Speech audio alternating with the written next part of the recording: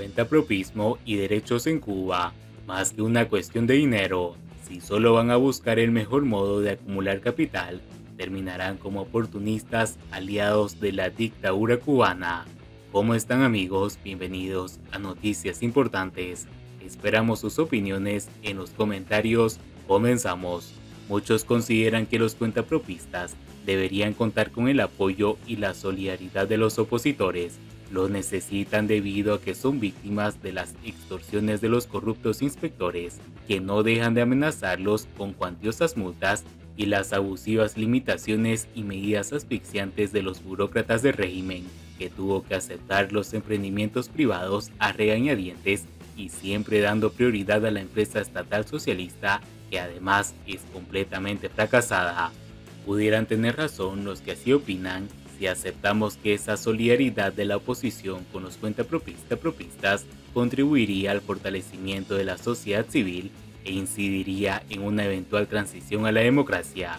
Pero la diezmada oposición está demasiado ocupada en capear la represión y en exigir la libertad de sus compañeros encarcelados para, con tanto abuso de todo tipo que comete el régimen, dedicarse a cuidar a que no timen y extorsionen a los dueños de vendutas y timbiriches.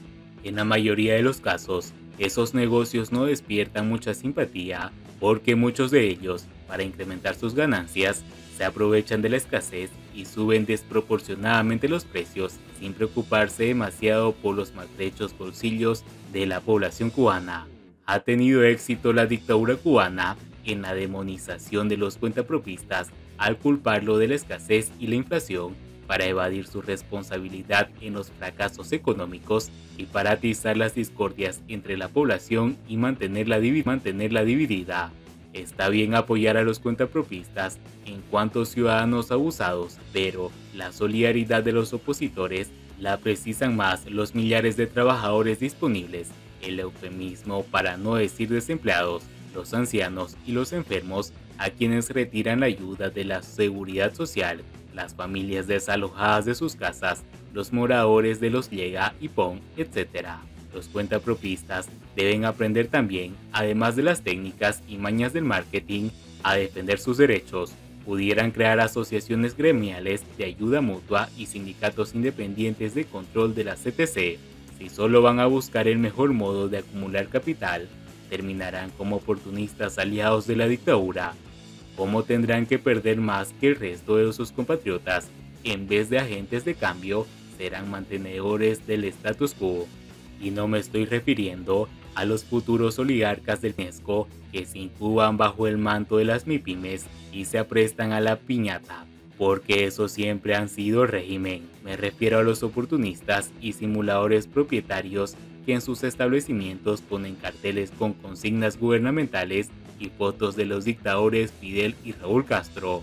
Si no son oficiales retirados de las FARC o del Minin u otros paniguados del régimen, es difícil concebir tan entusiasta simpatía por el castrismo en los dueños de estos establecimientos privados con mentalidad de emprendedores adinerados y que si no lo son más es por los altos impuestos, las frecuentes multas y las muchas y absurdas trabas de desenvolvimiento de sus negocios que les imponen.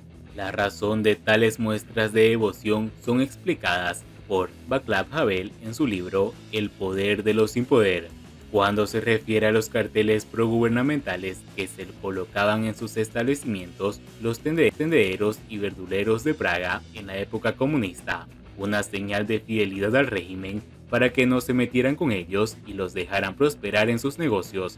Eso mismo hacen ahora muchos propietarios de negocios privados en Cuba, hacer un guiño a las autoridades para avisar que son leales, que se puede contar con su acatamiento, no importa si muchos hablan pestes del régimen en sus casas o si tienen planes de irse del país. No hay que asombrarse, la simulación, el fingimiento, hablar y actuar de un modo total y actuar de un modo totalmente distinto a cómo se piensa, la doble moral se ha hecho un ejercicio cotidiano de supervivencia para la mayoría de los cubanos en estos 64 años de dictadura, especialmente para los que tienen algo que perder y no quieren arriesgarlo. Cada opositor o periodista independiente no conoce a cuentapropistas y bisneros que los odian porque dicen que debido a los agentes de la seguridad del Estado invaden el vecindario para vigilarlos y reprimirlos, les ponen malo el barrio para sus negocios y trapicheros.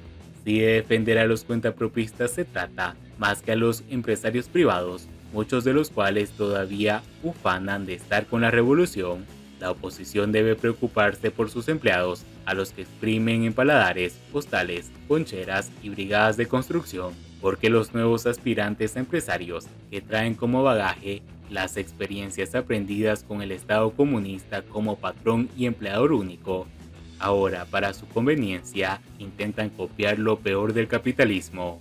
Siguiendo con las noticias, el canciller de Irán en Cuba Siempre hemos visto a Cuba como un aliado estratégico.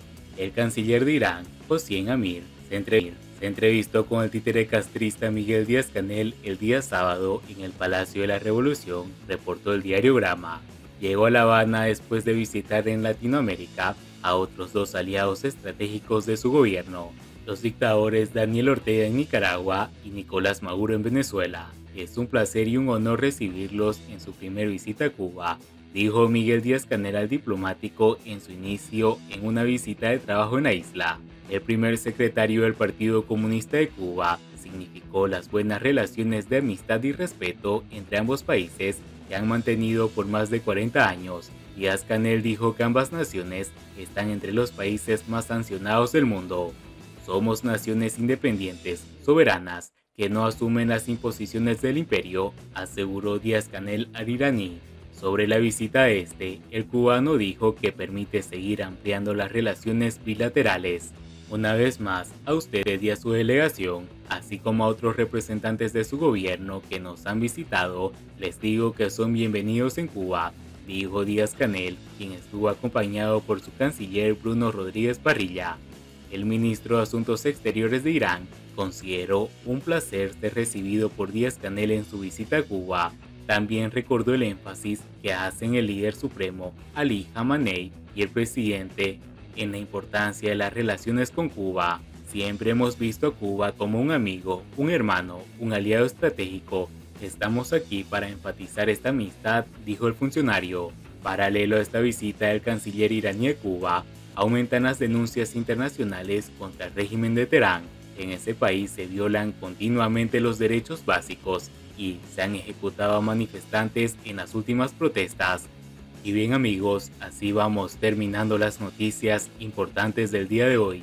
Por favor, nos haría mucho compartiendo las noticias y así poder informar a muchas más personas de la verdadera realidad en Cuba. Patria vida mis hermanos, nos vemos en el siguiente